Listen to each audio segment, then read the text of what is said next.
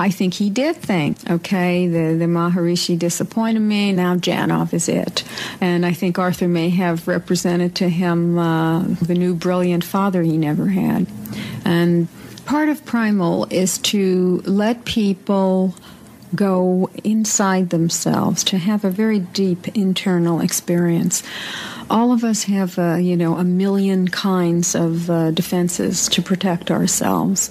We have our morning paper, our cup of coffee, uh, our telephone, our work, our uh, music, our TV, our radio, our every kind of distraction that just keeps us moving all day. But if you know how it feels when you wake up at four in the morning and the pit of your stomach is aching a bit. You know the feeling of suddenly you are alone without your artifacts, so to speak. And that is what we try to create at the very beginning of therapy. You can shine your shoes and wear a suit. You can comb your hair and look like cute.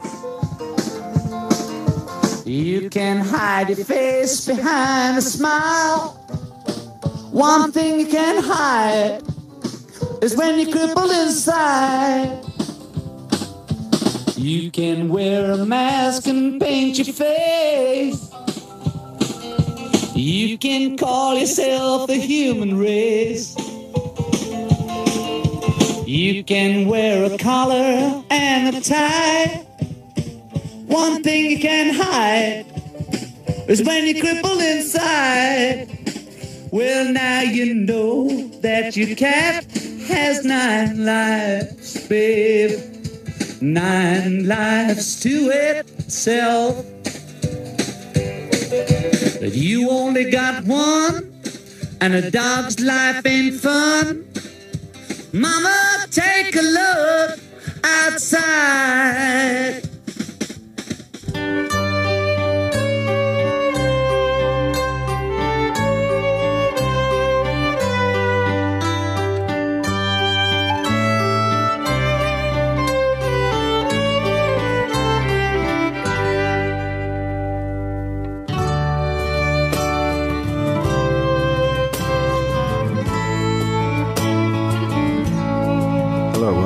Episode 41 of Glass Onion on John Lennon.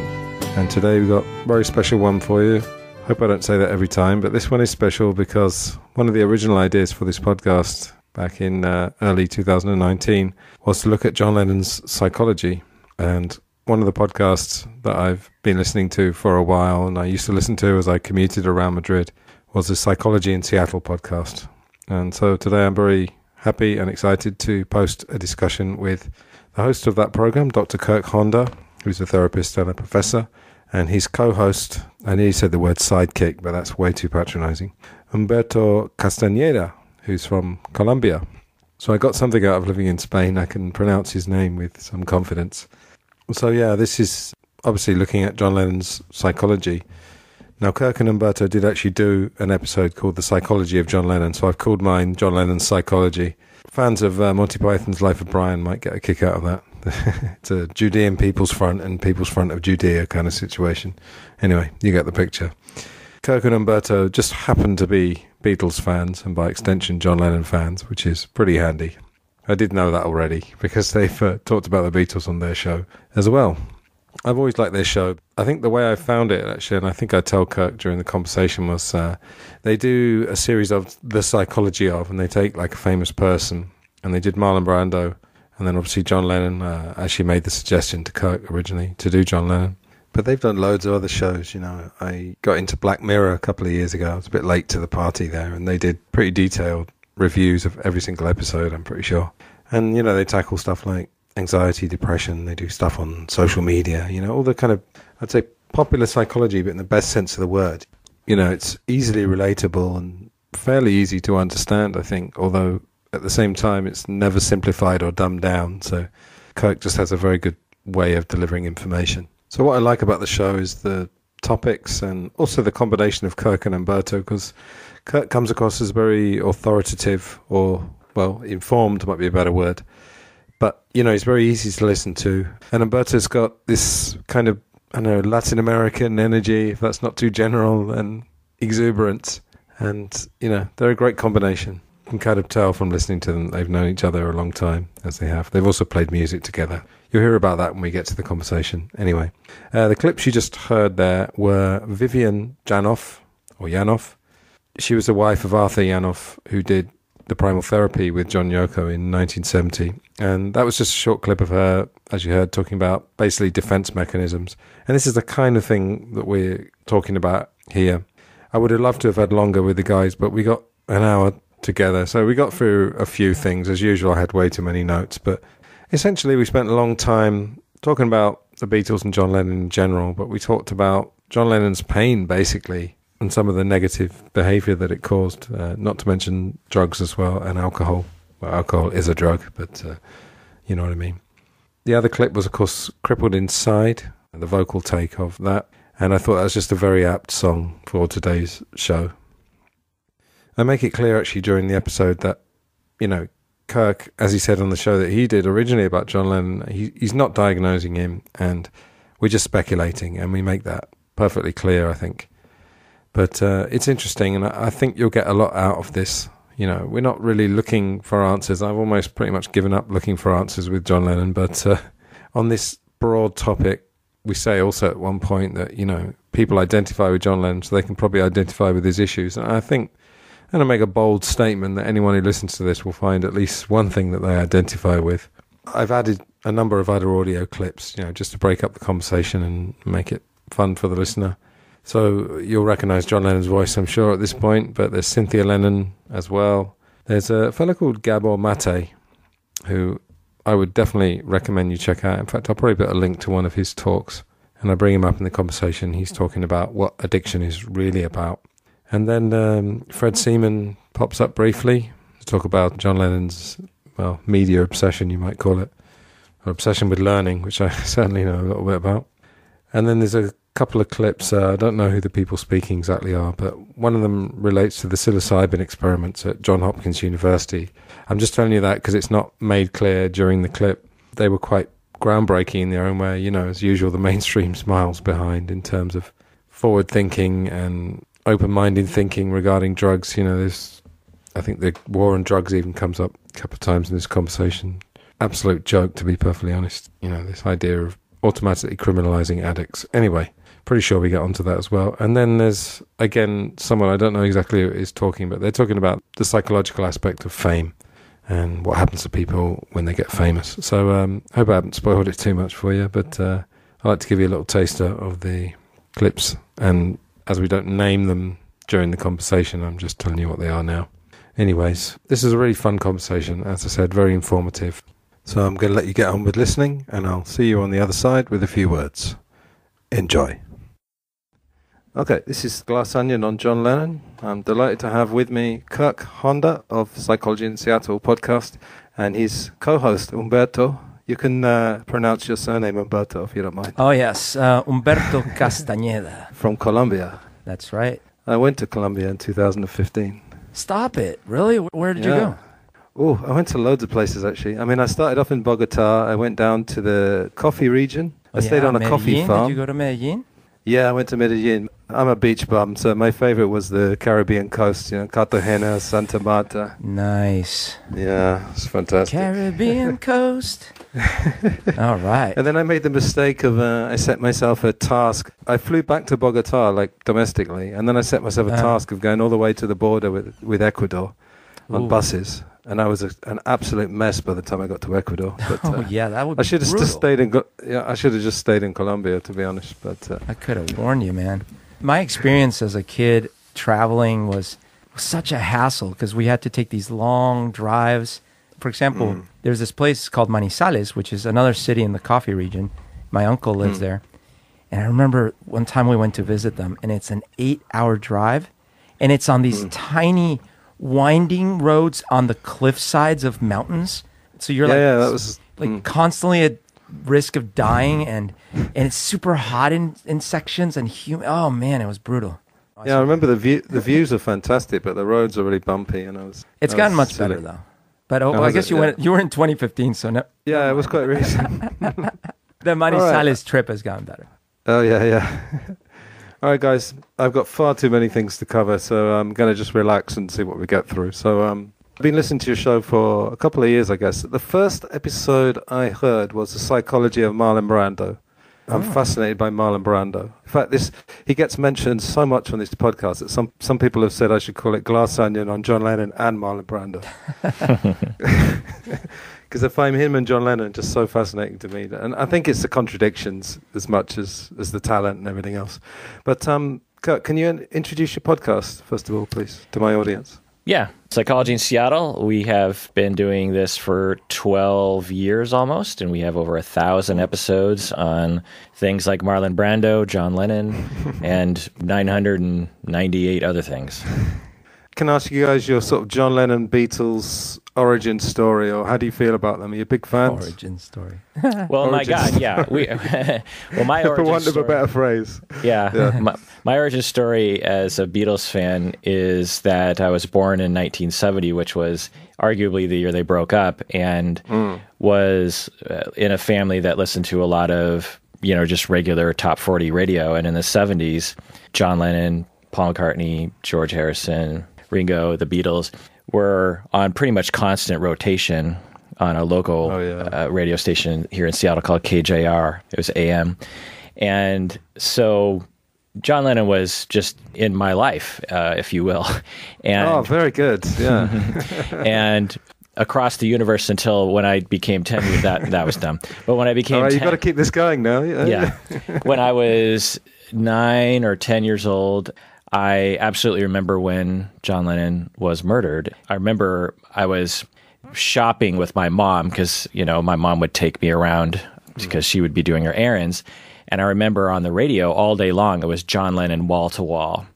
And everyone was mourning and talking about it. And Woman was in high rotation at the time. And mm. I remember really liking that song. Then, when I was a teenager, and I was trying to break away from top 40. You know, I'm 15 years old and I fancy myself kind of an alternative kid. And so there's a lot of 60s looking back in the mid 80s or the hipsters of 1985 were not listening to top 40 they were listening to the 60s and so i went back to the 60s as well and really started listening to the beatles a lot and i would sit in my room and pretend i was the beatles with my tennis racket as a guitar. Oh, And- well, of course. We've all done that. and and in some ways i kind of learned how to be in a band how to play guitar in a weird way and how to harmonize by basically just fantasizing that i was the beatles. And i've been obsessed with the beatles since 1983 or 4 my coffee mug right now is coincidentally Rubber Soul i bought this in london at the beatles memorabilia shop right next to the sherlock holmes shop there and Oh, Baker Street. Yeah. Right.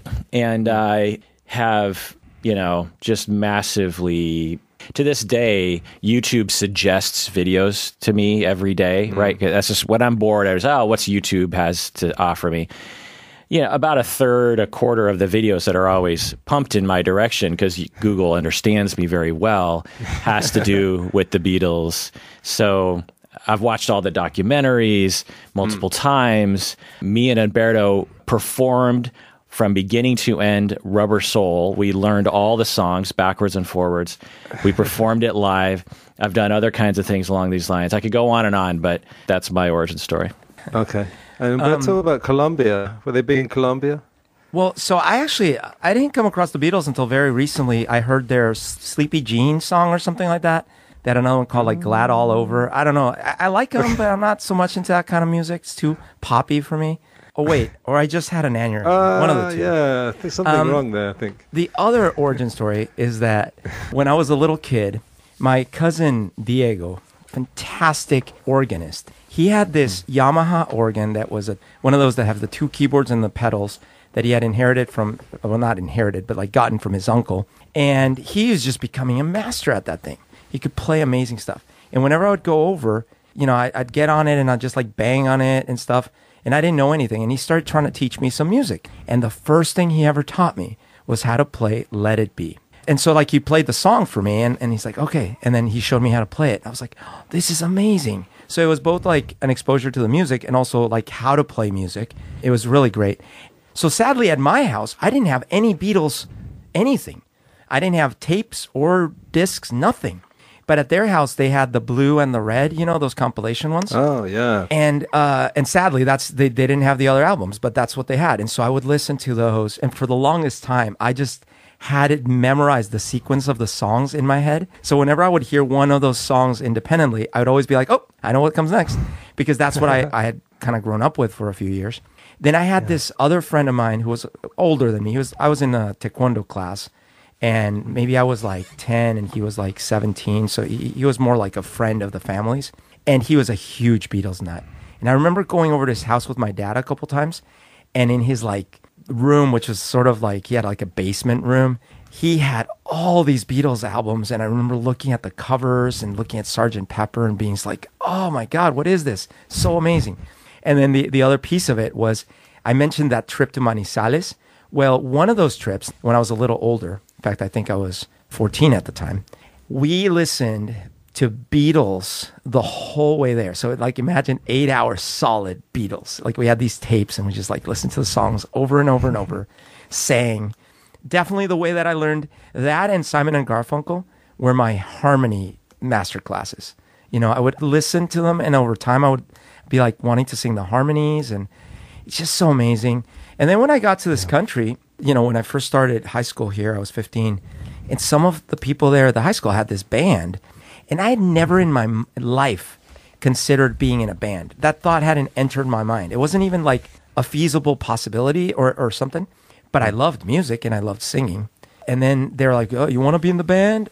And I'm like, "Uh, I don't know." And they're like, "What can you contribute to the band? Do you have a keyboard?" Well, my little brother has a keyboard. All right, you're in. so that was like my entrance to the band. And of course, they were all into the Beatles too, especially the Japanese guy in the band, Shun. He was a huge Beatles nut. And then in college, I took music theory, three years of that.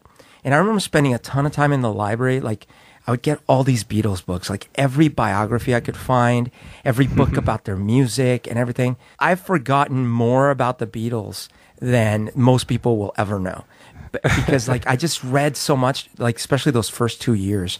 I was obsessed. We learned a ton of their songs, played covers, and it's definitely how I learned a lot of songwriting, deconstructing their songs and figuring out how to play them and stuff like that. Yeah, because they're simple, but they're also deceptive. What a lot of people don't realize is that the early songs, in some ways, are almost as sophisticated as the later ones, but you just don't know it because it comes Yeah. across as very tuneful. That's kind of the trick. And I, I used to get this magazine called Total Guitar, and they had like 10 Beatles songwriting tricks. And I, I bought it 20 years ago, and I just bought it last year on eBay. I found it. And it just fantastic because you realize that Wow. there was sophistication going on from day one. I mean, maybe not Love Me Do, but you know, stuff like that. Right. And um, I mean, the origin story for a guy in England is basically being born. That's your Beatles origin story. 'cause Sure, sure. you know, it's everywhere. But I, I was kind of the same. I got into them when I was 14, and, and I mean, the next three years just drove my family mad. Although my family liked the Beatles, but not as much as me. And it was like, occasionally uh, be in the car and they say, "Oh, could we put something else on?" So you know, then I'd put the Rolling Stones on. Something else. Okay, so I listened to the show that you guys did. I guess it was a year ago, was it? Something like that. Yeah, something Which like that. one? We've done several. Oh, about John Lennon. Yeah, yeah. The John Lennon one, yeah. Not the other 999 ones. So, if you don't mind, I'm just going to run through some of the stuff you said. And I just want to maybe talk about some psychological concepts, let's say. I should tell you, Kirk, that I've got a PhD in drugstore psychology. Okay. Oh, okay. Awesome. we call it coffee table, coffee table psychology in England. Yeah, yeah, it makes Um, sense. But first of all, can you just give me a couple of books and documentaries that you guys have watched? I know you've watched loads, but are there any that you kind of felt are the most accurate, or is that possible? Or are there too many? Well, I find that it's hard to find documentaries that I imagine get behind the scenes. Of course, the standard documentaries. I remember there was one big one in the 80s that I recorded off Channel 9, our our public TV station here, and watched it over and over and over again. But it wasn't that long, if, if I recall. It was It's probably complete Beatles, isn't it? yeah, complete Maybe. Beatles. I, it was what just a few hours or something. And Just a then couple of hours, I think. yeah, and then obviously the anthology that came out in the '90s, and obvi- yeah, that's what 12 hours or something. That was something. '90s. Oh, okay. Uh, I owned all those VHS tapes. Yeah. Yeah, I think I did too. And I remember watching that quite a bit and really liking that. Of course, and I wa- loved those a lot and watched them and, and, and appreciate them, especially anthology, because they'll they have like the demo tapes. I just love demo record. I so just what two days ago, I had a glass of wine and I put on a demo tape of Maybe I'm Amazed by Paul, which is not John, but and was playing on my piano just super loud, you know. So I was going through all these demo recordings of the Beatles and playing along with it. like those old Let It Be recordings. I can't wait for that documentary to come out.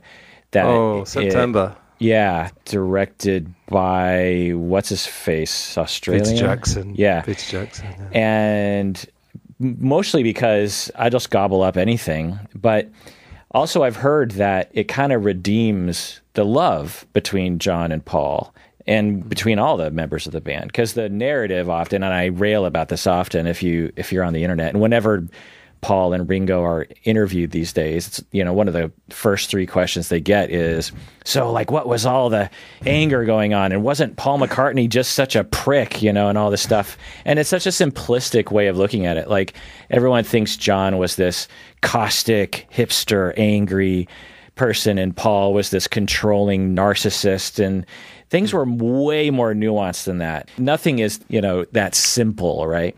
Uh, John was quite jovial a lot of times and Paul was quite subservient a lot of times, especially in the beginning of, of the Beatles. And so no documentary in my mind really gets at what I'm interested in my older age, which is the reality of the relationships. And I, I wonder if we'll ever be able to get that, you know?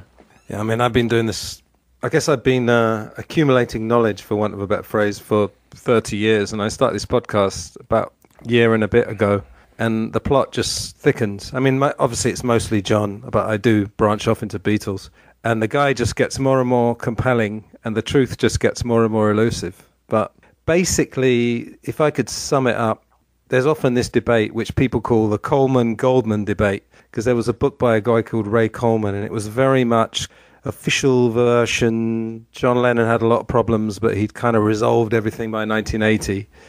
And then there's this. Have you heard of this book by Albert Goldman that came out in the 80s? I believe so. He wrote a book on Elvis, which all the Elvis fans were disgusted by, and then everybody heard he's going to write a book on John Lennon. and Everyone was fearing the worst, and it was as bad, you know a few of the things have come out that seem to be perhaps a bit more accurate and that the official version is a bit too nice.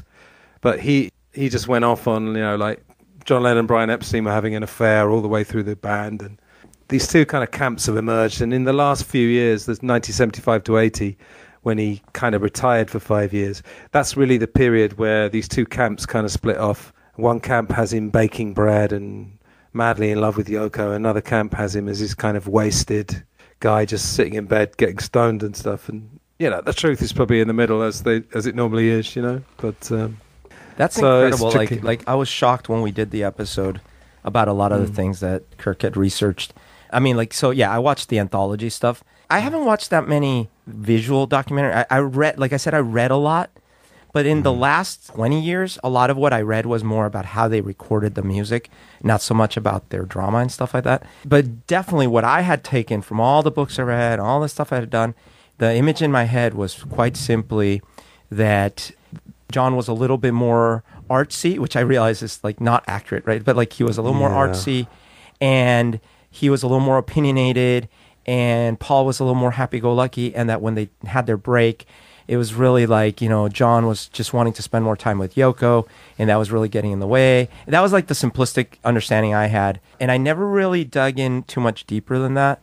So, yeah. Yeah, and when we did the episode, I probably spent a couple days researching as best I could online, trying to mm-hmm. get credible accounts for what John was like behind the scenes. Because this is at, at a time of transition in the media where the media wasn't full on TMZ style, right? People still wouldn't necessarily say things that would denigrate a famous person, and the media wouldn't necessarily print it. Today, everything that Kanye West does, we know about because he tweets about it. One, but two, it's just like anyone who has dirt on Kanye is gonna gonna say it, right? So I tried to look up you know, tried to get credible information, and there were a lot of different accounts. And as you say, Antony, that it leaves way more questions. But at least what I learned was that there's another story there that I had never really considered, namely, was John Lennon domestically violent? Did he commit mm-hmm. interpersonal violence on Cynthia, uh, on Yoko, and uh, what's her face? May, May Pang. May, May Pang, Pang. in, in Los Angeles. And there are differing accounts. Some people say it was horrific and ongoing, and some people say it was not a big deal, and some people say that the sources are not credible, and so you know. And like you say, it just raises more questions. And when we posted the episode, there was a lot of debate among people commenting of just like, oh, well, I heard this and I heard that. And it- it's just hard to know what really happened behind the scenes. Uh, all that I used to be cruel to my woman and beat her. That's me because I used to be cruel to my woman and physically. A- any woman, you know, I was a hitter. I couldn't express myself, and I, I hit. I fought men. I hit women. I was violent. That's why I'm always on about peace. You see, it's the most violent people that go for love and peace. And I sincerely believe in love and peace, but I am absolutely a violent man who has learned not to be violent and regrets his violence. John was very, very jealous and very possessive. And I think he actually said that later on in his life. I was aware of his jealousy and I was aware not of his violence because I hadn't seen his violence at that point. But I mean, he didn't beat me up. I mean, he, he just smacked me across the face and I hit my head against the pipe in college. And at that point, I thought, well, I- I've never experienced this in my life and I don't want to see it again. And I didn't. There'd been an awful lot of nurturing and looking after his delicate ego at that time and his pain. And I thought, well, you know, I can only go so far and no further. So uh, it took three months before he actually phoned me and we got back together again because I loved him. You know, it's as simple as that. It was an instant. It was something that he couldn't help, and he didn't do it again. And I wouldn't have been with him if he had. In fact, that was the first and last time that he ever lifted a finger or a hand to me. So he learned his lesson. But I can say that my conclusion, based on the gestalt of all the information, was that John Lennon was relationally traumatized growing up. Or his first six years of life alone were, you know, unarguably difficult and lots of abandonment, neglect, and then his mom dies tragically and violently when he's a teenager, and he's completely alone at that point, and so he definitely had relational traumas that, per, that led to personality effects, possibly depression, ongoing depression or p- periodic depression that most likely showed up in his relationships. The degree to which it happened, hard to know, but it was at least to some degree. Yeah, I think what I've concluded from because I've actually managed to have on my show people who were like in bands with him. I've had two of the Quarrymen, which is absolutely amazing, and I had his personal assistant, a guy who lived with him for a couple of years in the seventies. And I mean, even they don't agree on everything, but I think the conclusion I've reached is that John Lennon, when drunk, was a very different animal to John Lennon sober. I mean, perhaps you can tell me do you think alcohol more than any other drug brings out these demons? Because some of the stories of him when he, from May Pang, when he got drunk, I mean, he just went to the depths of just dark shit, you know, just awful. Yeah, well, it's hard to say, and alcohol has different effects on different people, but we can all, at least anecdotally, and research points to this, stories of people when they drink, they will become, quote unquote, a different person, hmm. violent, aggressive, unreasonable, fixated on negativity, these kinds of things. He did, on the odd occasion, have a few altercations with other people in his life when he couldn't help it, and it was to do with booze at the time. He could not take his drink. I was pretty self-destructive at college too. When I was at art school in Liverpool, you know, it was mainly a one long drinking session. I remember at college, I always got a little violent on drink. I used to have a friend called Jeff Mohammed, rest his soul, who died. He was a half Indian Arab who was my friend at art school. He would be like a bodyguard for me, so whenever I'd get into some controversy, he would sort of ease me out of it. But I do recall at college punching through telephone box glass, you see. I don't like that waking up and thinking, what happened? Did I kill somebody? given his relational traumas and given how I think ongoing he felt alone. I think he felt deeply alone almost all the time. And and that's why when Yoko Ono came along and for whatever reason they clicked, he really glommed onto that at the expense of all of his other relationships and one could say it's a beautiful thing two people fall in love but another would say that he was putting all of his eggs in this basket that ultimately actually didn't pan out. I mean, within a few years, he was having lots of problems with Yoko. And there's, it's a famous event where he goes to LA and he's with Nilsson. What's his name? Harry Nilsson. Harry Nilsson, yeah. And uh, Nilsson. drinking nonstop at uh, the Troubadour, I believe they're hanging out in. And that was when the famous event that was it Harry Nilsson that witnessed the the violence between him and May Pang. Uh, someone witnessed yeah, it. among various people. There was a couple of Apple people there as well. Yeah, yeah. Yeah. But- Where John just lunged for May Pang and seemingly tried to kill her right in front of other people, tried to strangle her to death and had to be pulled off of her. Now, how much of that was chalked up to alcohol intoxication? You know, some people say, well, it brings out what's underneath. And that's not necessarily true. I mean, if anyone has ever been really drunk, you can attest to the fact that you'll do things when you're really drunk that are really not anything that you ever thought about. Your brain is basically dysfunctioning at that state. And so certainly that's possible. But, you know, he had a lot of reasons to be angry. I mean, there, there were just a lot of built up anger for very legitimate reasons going back to his childhood. Do you guys probably know the story that his father took him off to Blackpool and his mother arrived and he was forced to choose between the two of them. Now, there's this guy called Mark Lewisohn who's a kind of acknowledged Beatles brain of the world and he is an incredible researcher. He does it full time. He's disputed that, but there's no dispute that he lost his uncle when he was 14. He lost his mother when he was 17. He lost Stuart Sutcliffe when Stuart was 21. I guess John was 21 you know, it's a lot of loss. But I mean, do you guys, you were talking about the lost weekend, but do you know, even as early as 63, which is when the Beatles were the cuddly mop tops, at Paul McCartney's 21st birthday, there was a DJ from the Cavern who was uh, taunting John Lennon because John Lennon went on holiday with Brian Epstein. I guess maybe you know that story as well, this famous Spanish holiday. And this guy said to John Lennon, Oh, what happened between you and Brian then? And John Lennon went absolutely mental and from some accounts started beating this guy to death. Oh my God. You know, and this is 1963, but of course nobody wanted to like stop the Beatles train, so it was all covered up.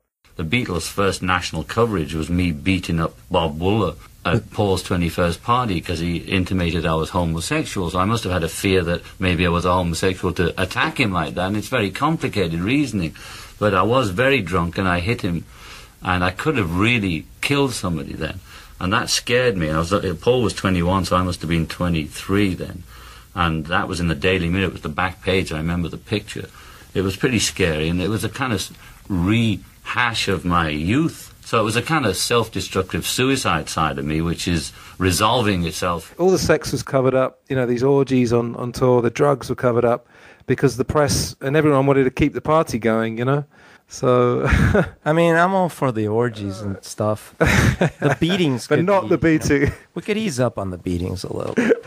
I mean, Yeah. so you know what I did? I think I talked about it in the episode. Is I Hmm. did get this graphic novel that is about Brian Epstein.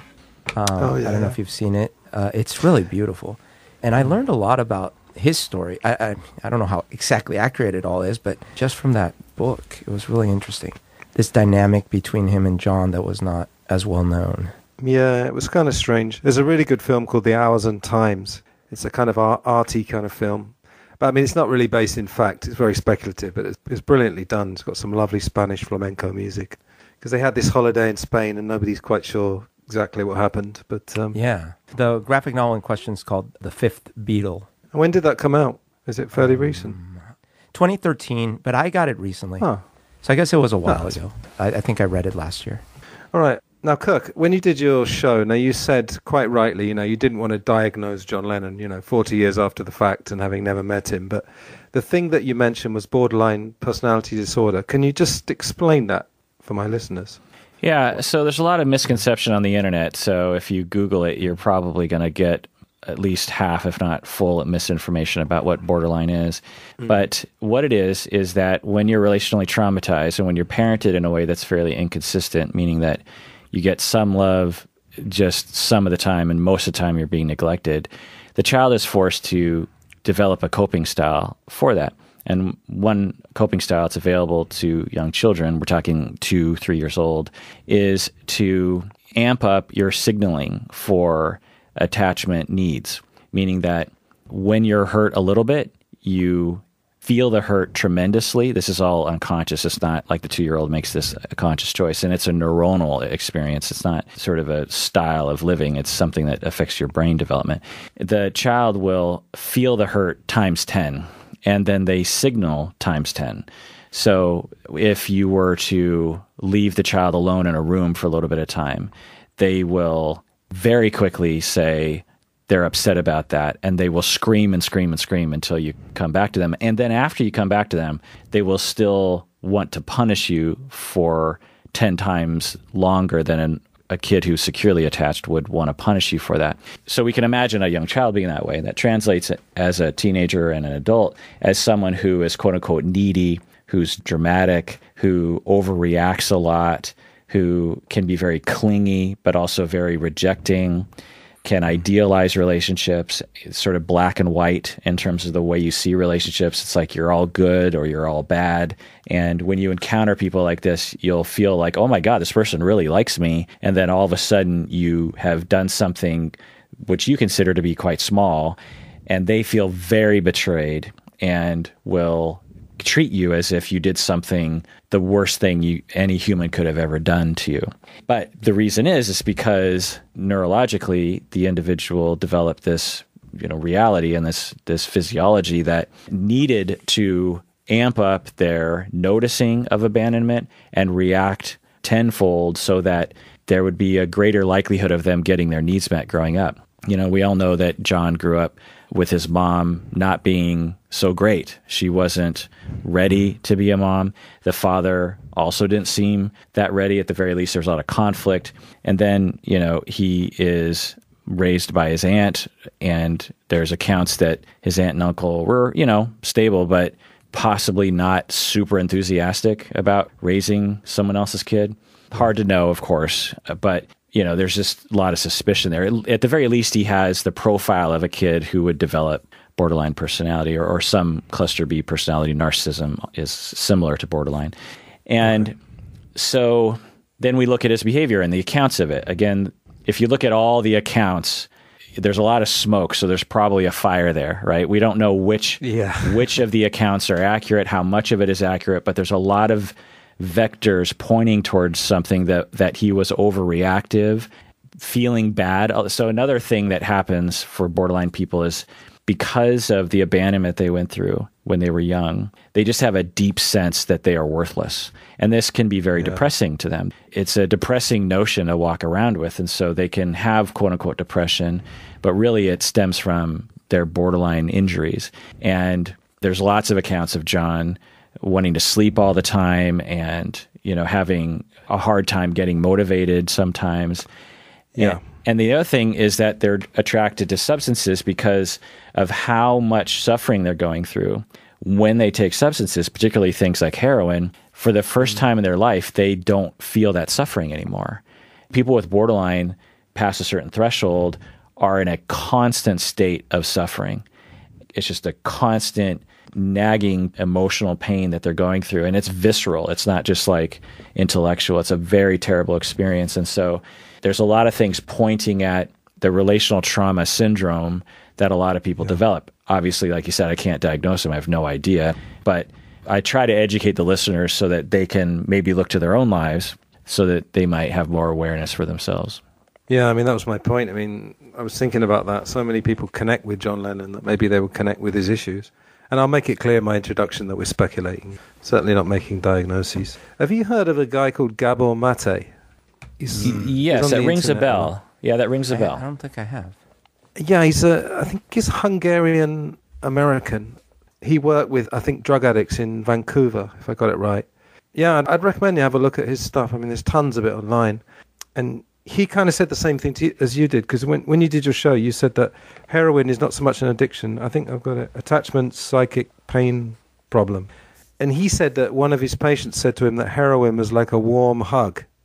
And the patient has said to Gabor Mate, it's like the first time, this was like receiving the first hug I'd ever received, you know, the heroin. Because, like you said, it just soothed. It was the first time they'd ever felt free That's of this so stress. Sad. I know, it's so sad. It brought tears to my eyes when he was talking about It's it. 'cause- crazy. It's interesting to see or to ask who becomes addicted. People can have sex without being addicted to it, they can go shopping, but some people become severely addicted to all these pursuits. If I speak to a group of 100 people or 1,000 people and I ask, well, how many of you have addiction issues to any substance? A number of people will put their hand up and I say, what did it do for you? Not what was bad about it, we already know that, but what did it do for you? What was positive in your experience of it? Well, it gave me a sense of peace. It gave me uh, pain relief. It made me feel more connected. It made me more confident. I could speak now and interact with other people. In other words, the addict is just after wanting to be a normal human being. And the real question is what keeps them from having those qualities in their lives and what happened to them? And so that the addiction should be seen not as the problem, although it is a problem, but it's not the problem, it's the addict's attempt to solve a problem in the first place. The adverse childhood experiences studies done in California looked at conditions such as physical, sexual, and emotional abuse in the child's life, the loss of a parent through death, or a rancorous divorce, or a parent being jailed, or mental illness in the parent, or addiction in the parent, or violence in the family. And for each of these adverse childhood experiences, the risk of addiction goes up exponentially. By the time a male child has had six of these adverse experiences, his risk of having become a substance dependent, injection using addict is 4,600% greater than that of a male child with no such experiences. Why is that? It's because that trauma shapes the brain in such ways as to make the addictive substances more appealing to the individual. That trauma also gives that person the pain that they will try to then escape from or, or to soothe through the addictive behaviors. Which then brings us to the war on drugs. Basically, the war on drugs is being waged against people that were abused and traumatized in children and have mental health problems. There's enough punishment in there, in the negative consequences of the addiction, that we don't have to add punishment onto that.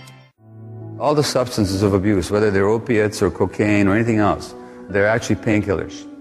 Some of them specifically are painkillers. But physical pain and emotional pain, the suffering is experienced in the same part of the brain. So when people suffer emotional rejection, the same part of the brain will light up as if you stuck them with a knife. The Eckhart Tolle says very nicely that addictions begin with pain and end with pain. So uh, when I work with uh, addictions, the first question is always not why the addiction, but why the pain. And uh, what you find is emotional loss or trauma. In the case of the severe addicts, as in the downtown East Side here, they were every single one of them traumatized. But you know, whether it's a sex addiction or internet or, or, or um, relationship or shopping or work addiction, these are all attempts to get away from distress. Keith Richards, the Rolling Stone guitarist, who used to have a severe heroin habit, as you know, he said that all the contortions we go through just not to be ourselves for a few hours. Well, the Tibetan Book of Living and Dying, uh, it's got a wonderful line in it. Whatever you do, don't try and escape from your pain, but be with it. But the question is, how can people be with their pain? Well, only if they sense some compassion. So, as another teacher says, only when compassion is present will people allow themselves to see the truth. So, addicted people need a, a compassionate present which will permit them to experience their pain without having to run away from it. And, and we live in a society that, one way or the other, is always about instant relief, quick satisfaction, distraction. In other words, we live in a culture that is based on, both economically and, and psychologically, not uh, supporting people to be with themselves. So it's always the quick getaway. So it's very difficult to deal with addictions in a society. But yeah, it is a matter of, at some point, finding a way of being with your pain so that you can actually get to know what it's really all about. So the opiate addict is somebody who's got too much pain, not enough pleasure and reward in their life, and not enough love in their life. As a sex trade worker said to me, and I quote her in the book, She said, The first time I did heroin, it felt like a warm, soft hug. And that's the power. The power of the opiate addiction is that it gives you three qualities without which life is unlivable. And, and if your brain was deprived of the conditions that promote the healthy development of the endorphin circuits, you might be a sitting duck for heroin addiction because when you get to heroin, you feel normal for the first time in your life. But I've heard that before. Where did I hear this before? Well, But it, there's a lot more awareness. We emerged out of the 80s and 90s with this just say no stuff and this Yeah. demonizing of people who use substances and people who struggle with the substances. And we're just now like 1% movement of understanding that it's often with substance abuse a result of deep psychic suffering that the substances ameliorate on some level, but obviously come with a bunch of negative side effects. And yeah, plenty of people, maybe even listening right now, can attest to the common experience is someone was relationally traumatized growing up. They have ongoing pain, psychic pain. They might normalize it over time. They might think, well, maybe everyone feels this way. I don't know. Because it's just this ongoing, you know, trouble that they experience. And then they get their wisdom teeth pulled out or they have some kind of medical procedure and they're prescribed opiates or opioids. And they take their Percocet, they take, you know, the Vicodin or something as prescribed. And all of a sudden, for the very first time, they feel normal. They feel like that feeling when the water in your ear finally, you know, pops and for and all of a sudden uh, now you yeah. can now you can hear again. That's what it feels like for those people. And you can't blame them for saying, Where can I get more of these? And I mean, I don't know how much you guys know about the extent of the drugs that John Lennon did, but you know, again, it's hard to know. He said he famously said in an interview, "I did a thousand trips," which is maybe a bit of an exaggeration, but uh, we have it on good evidence that he was when he wasn't needed for Beatles recording sessions after they finished touring. He was pretty much tripping every day for pretty much a year, you know, and journalists would come around and he, and he wouldn't know. I mean, he'd wake up, like you said, Kirk, sleeping a lot. He'd wake up at like four in the afternoon. He wouldn't know what time it was. He wouldn't know what day it was, literally. I mean, maybe he just didn't want to know what day it was. It's fine. He didn't have to get up for work or anything. But, and then, you know, the late 60s, there was coke, there was heroin, as you know, and obviously weed. So, uh, do those drugs act together or, or do they have separate effects? I mean, Well, it's hard to know, and they react differently for different people. But uh, psychedelics typically work on the serotonin system, which is the same system that Prozac and antidepressants work on.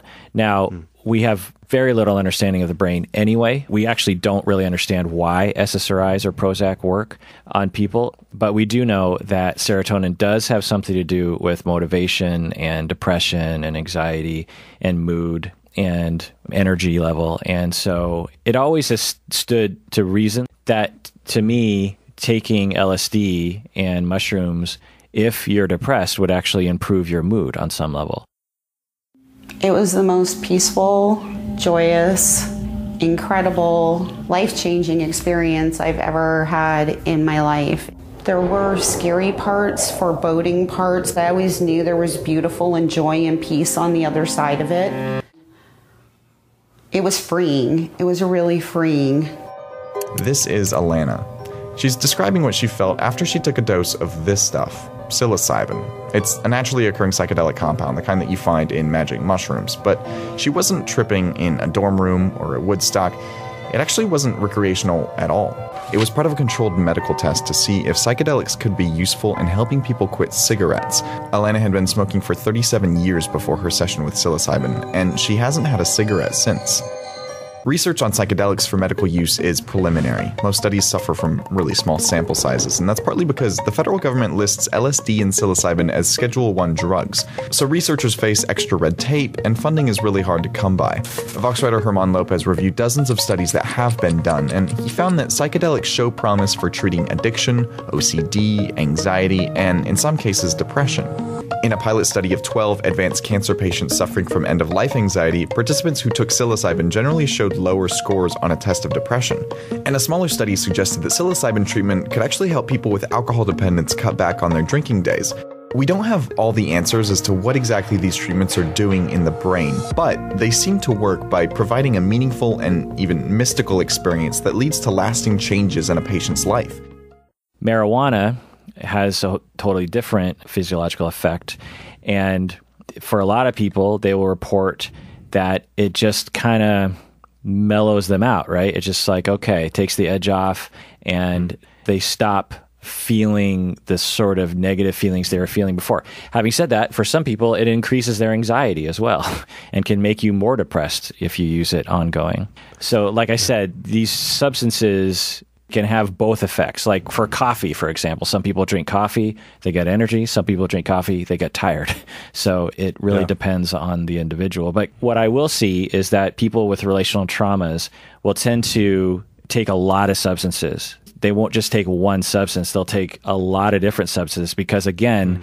they're desperately trying to tamp down the horrific abyss that they feel when they're sober. When they're sober and they're alone and they're just staring into themselves, they see a giant abyss of worthlessness and nothingness. And you'll even hear people say that they feel empty on the inside. And that is a terrifying experience for people.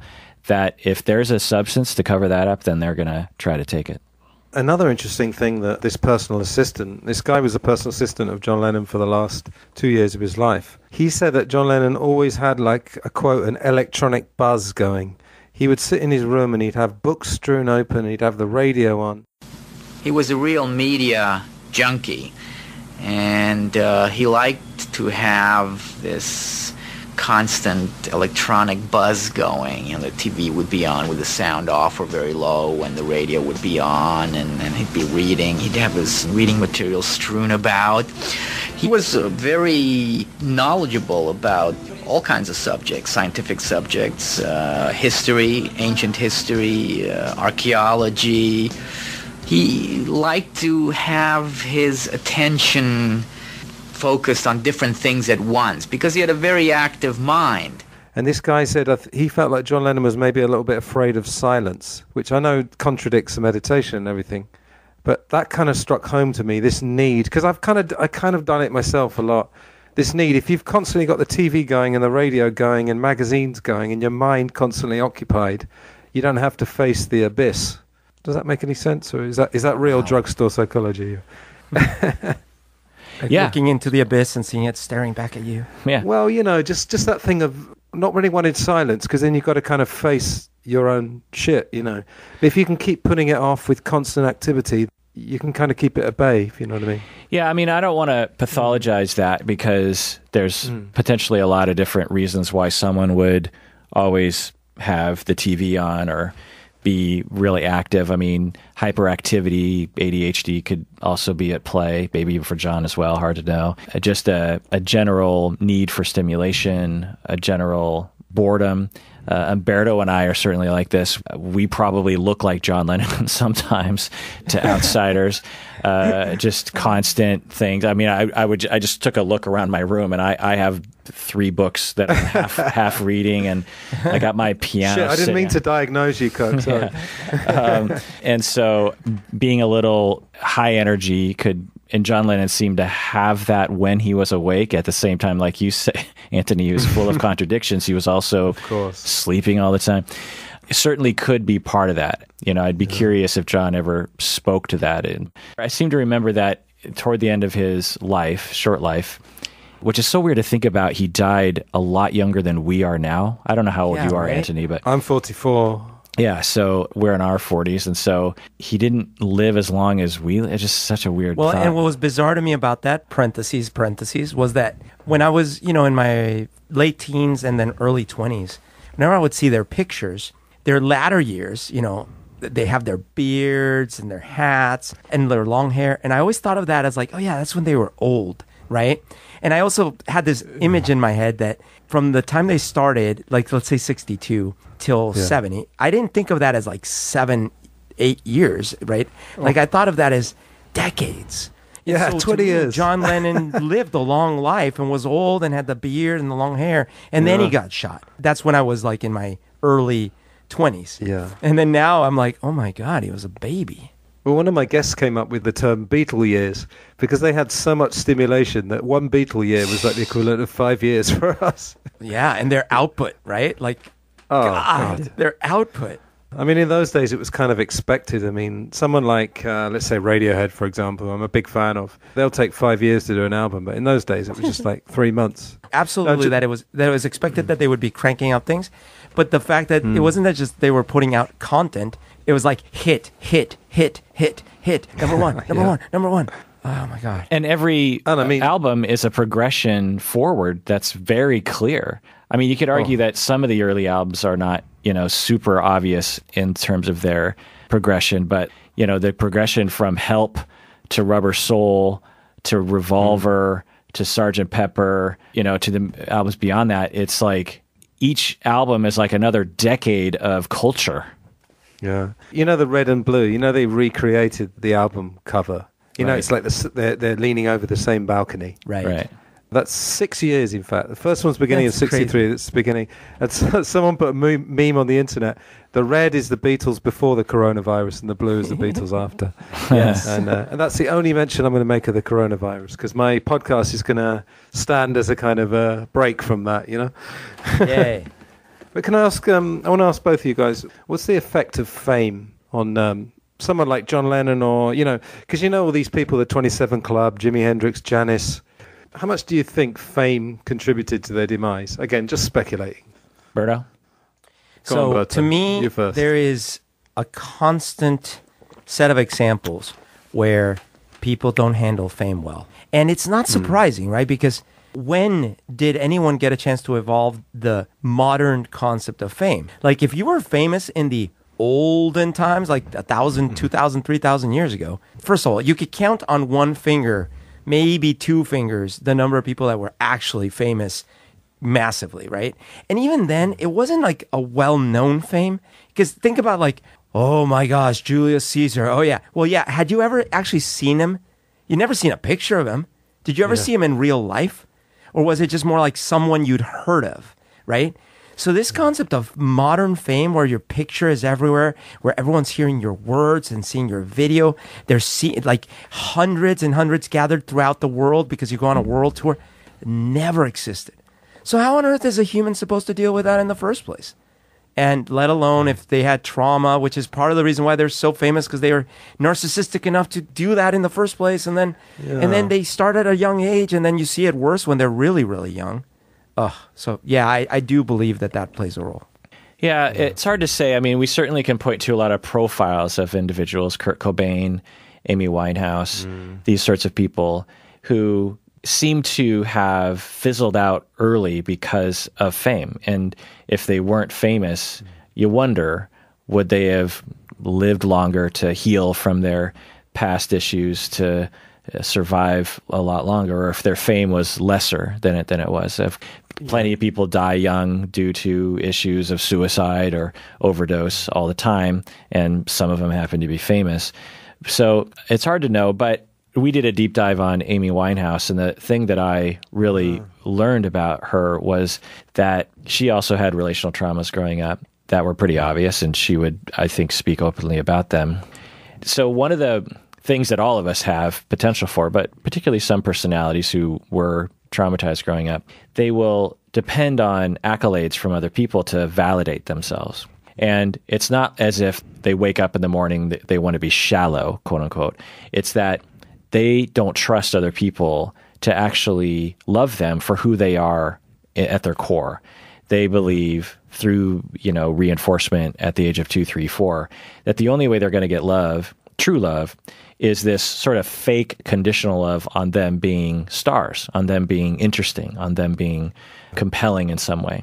And so they have a talent, God given talent as well. And these two things matched up together, and they have this sort of cascade effect where they get five fans and they're like, oh my God, I had zero fans yesterday, and now I have five.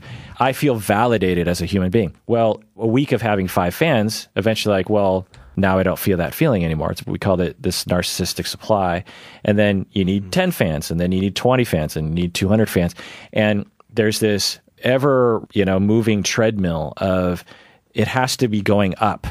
And at some point, it's not going to be going up anymore because there's just only so many humans on the planet. And I think that for someone like Amy Winehouse, and I, and I think maybe for John Lennon as well, eventually you sort of peak and the accolades start, you know, slowing down or you start plateauing or something like that. And then you're kind of left there wondering, well, who am I? Now I have to face who am I as a human being? Do do people really love me? You know, Nowhere Man by John Lennon, where he talks about, you know, everyone loves me, but yet I feel like I'm nothing. You know, that emptiness that you feel on the inside. And without any guide, like a therapist who specializes in personality disorders, for example, you're just left to believe that you are empty and that there is something deeply wrong with you.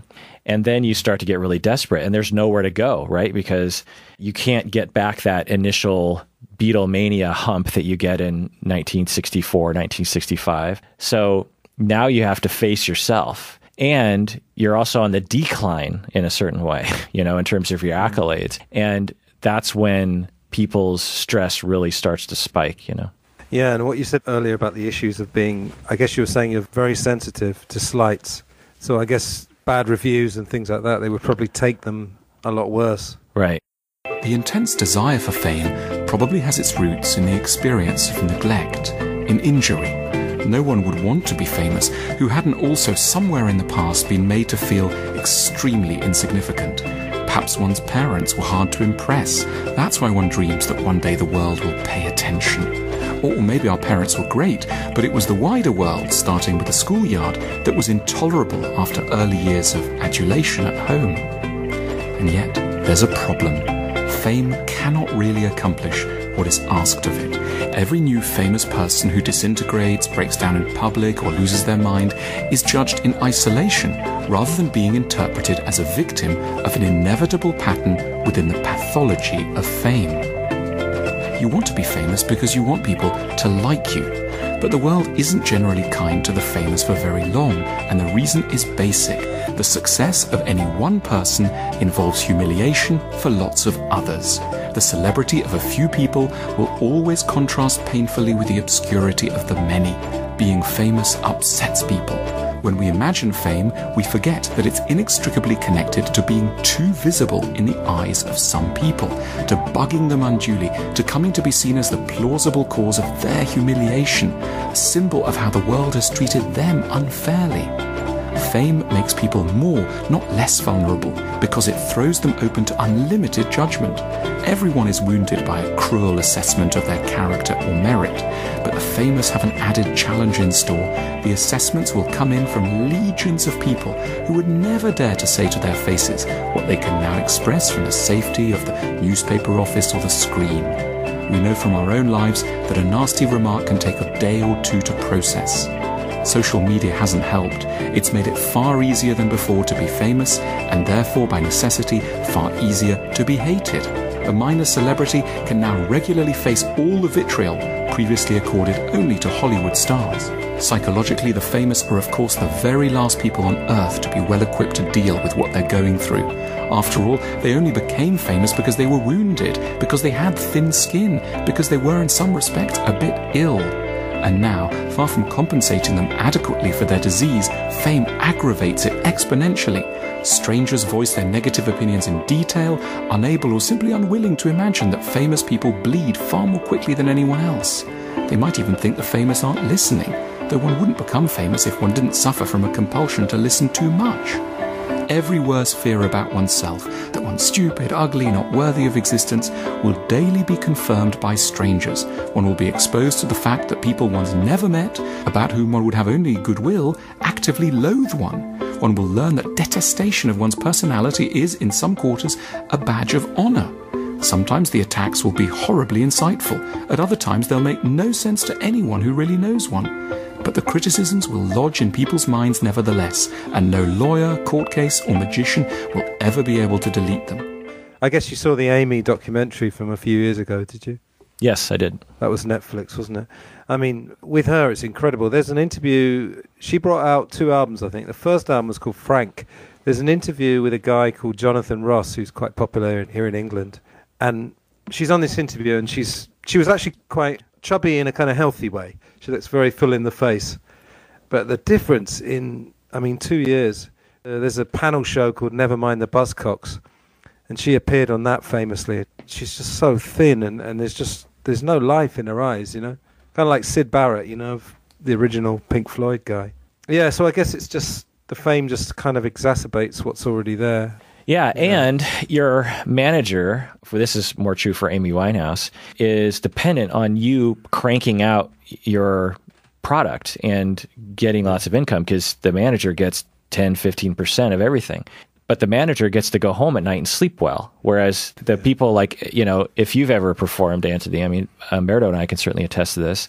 The whole process of gearing up to be on stage, being on stage, winding down from being on stage is a very emotionally draining experience that definitely. will indefinitely throw off your sleep schedule and will definitely make it attractive to start using substances to control that circadian rhythm disruption. Totally. Yeah. yeah. I mean, that's, I could go on and on about that because when I first started seriously playing out in a band, I overdid it as far as how many shows we would book. I had the wrong idea about it.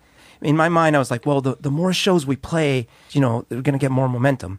And I didn't really think of it in terms of like how many people showed up. So we were booking like three or four shows a week. They were in like all over the place. No one showed up and stuff, but it was brutal, like constant going, traveling, taking all your stuff.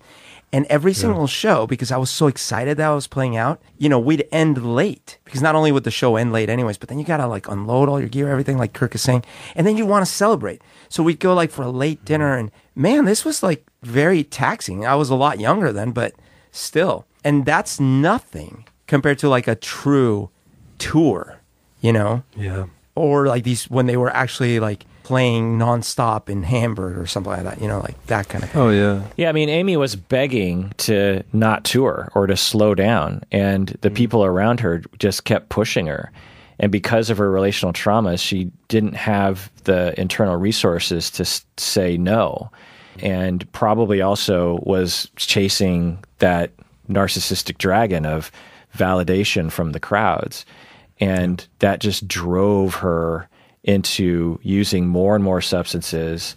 Sometimes on stage, she was just like completely hammered because of the physiological toll that these sorts of lifestyles take on the individual. It's just awful. Just awful. I wish that every famous person had this personal assistant who understood this and like advocated yeah. for them and was just like, nope, this is too much touring. You can't do this to a human being. Yeah, or kind of like a like a personal, uh, I don't know, life coach or something, but someone who's not dependent on them. Right, and that's what doing, the manager is supposed to be, right? The manager is supposed to yeah. be that person, but if they have an incentive to drive the Amy Winehouses into the ground for their own financial gain, then who is going to advocate for the Amy Winehouses? Yeah, there's that awful bit in the documentary where she, she's trying to clean up. She goes to, I think it's an award ceremony, and you hear her say on mic, "This is so boring without drugs." Oh my god! I really? Mean, yeah, yeah. It's, it's, it was awful.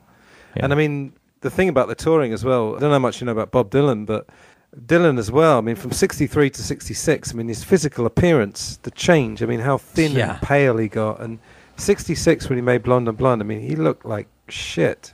And a lot of people think actually the you know the famous motorbike accident may have even been faked, or there's lots of speculation about it was some sort of subconscious thing, but I mean, his manager Albert Grossman was pretty ruthless. Was known for being pretty ruthless. But they had like forty shows booked or something. Michael Jackson as well, actually. They, yeah. they booked me wow. 40 shows in 45 days or something. Right. Uh, you know, Prince, I don't know the details, all the details, but certainly mm. one could argue that his schedule was, you know, not helpful to his health. John Lennon yeah. was one of the first people to start to show cracks in his psychology as just the touring went on, the meaninglessness of being in front of tens of thousands of people just screaming while they can't even hear him, and he's just on stage, just losing his mind, you know, because I mean, of, they made a very conscious and controversial decision to stop touring. Right. You know. Oh yeah. I mean, like, who? Like, if they had been anyone else, who would have let them like not tour? Right. right. They just had yeah. the power in their case to be like, nope, just going to make albums. yeah, because of the, the mental health issues. Now, Paul McCartney was willing to keep going and always wanted, and then did when as soon as he could return to that, and has consistently toured post Beatles. And because he was not relationally traumatized and has a greater ability to advocate for himself and have balance in his life and feel okay in the face of criticism or whatever. Whereas for John Lennon, because of his relational traumas growing up, it was much harder for him to cope with that. So, Antony, we're running out of time. I feel, I looked, I just looked at the clock and I was like, oh my god, it feels. next time. I feel like it's only been like 20 minutes, but uh, we have to wrap up here because we both Okay, have no appointments. So, any I'd love to last, do a follow up if, if you guys want to at some point. Yeah, I can always talk more about Beatles. yeah, Yeah. Another five hours only. yeah. Have you got like a couple of minutes? Just Yeah, to do- sure. We'll do a wrap up. All right. Yeah. So, uh, what do you think? I mean, this is just for fun, not not in your professional capacity. But what, what do you think John Lennon would have done had he lived past 1980? Just as a fan, what do you Yeah, Berto. do? You think he would have survived? First of all, you know, would he have survived? if you were still fame, alive, let's like in uh, what was that movie recently? Oh, where yesterday, yeah. Robert Yesterday. Carlyle, yeah. Yeah, yeah. Oh, that was Robert Carlyle. Yeah, I guess was, yeah. I didn't catch that at the time. oh, that's Yeah. insane. All right, yeah. I actually feel I would love it. Oh my gosh, the world would be so benefited if he was still around. If he had kept going in the trajectory that he was going in creatively. Just imagine the voice he could be right now, the songs he could put out, the like messages he could be driving. I just think it'd be so powerful. Maybe I'm hoping, you know, because like Paul, and I love Paul. I think he's such an amazing musician. I, I modeled my bass playing after him. But if I'm being honest, like musically, I stopped caring about his new music a long, long time ago. Whereas Yeah, I, feel like that with the Stones as well. Yeah. yeah, but I feel Sorry, like go on, I would have still loved some stuff from John. You know, but- Yeah, it's hard to say because you wonder there was got to be someone analogous to him that survived into the different eras of our society. But there's really no one like John Lennon that you could say, oh, he probably would have had a similar life to so and so. Uh, I mean, can you think of anyone that, who was like John Lennon that we could compare him to? Maybe Kurt Cobain had some similarities, but not really. Not from the time. Maybe Bob Yeah. Dylan, Humberto. Yeah. Yeah, but I don't know. Bob Dylan, although I see the comparison, John Lennon was way more outspoken and way, Way more, more. sort of erratic, I guess, and and Well, just and more than hard Kurt on his Cobain, sleeve, kind of his thing. But Kurt Cobain died er- young too. So, but what would Kurt Cobain look like at at age fifty right now? You know, what would he be doing? It's just so hard to know. But you got to know that he would have been saying things and doing things and being in the press and going on shows and being interviewed and a force for good. I, I very much imagine that. Would he also be saying a bunch of ridiculous things that all of us would kind of get? Probably Kanye West is probably a good example of like what he would, you know, the tweets that would probably be coming from John Lennon would be like Yeah. fantastical. Like John, I could just see John Lennon saying like, "Will someone please kill Donald Trump, please?" You know, I could just imagine, and then he has to pull back his his tweet, or you know, you could just imagine these erratic Twitter storm experiences from John Lennon. That that would probably be the closest person I could think of. That's so funny you said that because we've just been saying that on some recent shows. He would have spent so much time apologizing for lashing out at people. Yeah. I think you're right. All right, Yeah. guys. Thank you very much. It's been great. All right, uh, to Have awesome. you on the show. Yeah. Can you just give me the quickly give us the the link for your show? Are you on all the main platforms? Yep, all the main platforms. Yeah. Psychology in psycho- Seattle. Okay. All right. Thanks a lot, guys. All the Thank best. Thank you. Thank See ya. you. All right. Bye. So there you have it. That was Kirk Honda and Humberto Castañeda and me talking about John Lennon's psychology. Obviously, we didn't get to cover everything about John Lennon's psychology. It's too complex, but really, as we mentioned, seem to be more questions than answers, and perhaps further probing will just bring up more questions and more frustrations. Anyway, thanks again to Kirk and Humberto for being on the show, and their podcast is Psychology in Seattle. Highly recommended. There was just one other thing regarding this conversation. I noticed when I was editing it, I edited it very carefully, by the way, and I added all those audio clips. So, really wanted to get a nice product, for want of a better word, out there. But um, I took out a couple of factual errors, and this is an issue that Gordon Rochford brought up right at the beginning of his appearance on the show about um, Beatles fans sometimes nitpicking. And it's funny that when Kirk and Humberto did their original John Lennon show, Kirk said at some point during the conversation, I bet there's John Lennon fans picking me up on little factual inaccuracies. So there were a couple that I left in just purely because they were in the middle of the flow of conversation. I don't want to make too many mechanical edits just for the sake of it. But, you know, the hardcore Beatle heads just accept that, you know, every now and again there might be a slight inaccuracy. Anyway, so the next show is going to be with Chip Madinger and Mark Easter. Chip actually contacted me, which I was very flattered about, and they're talking about the reissue of their book Eight Arms to Hold You. And obviously, with the John Lennon thing, we talk about John Lennon's solo career more than the other Beatles, but all via this book. Chip Madinger also has a book called Lennonology that I haven't read yet, but I'll get to that and perhaps have him on the show again in the future. But on that subject, after this Sunday, I will have the next 10 to 11 weeks covered.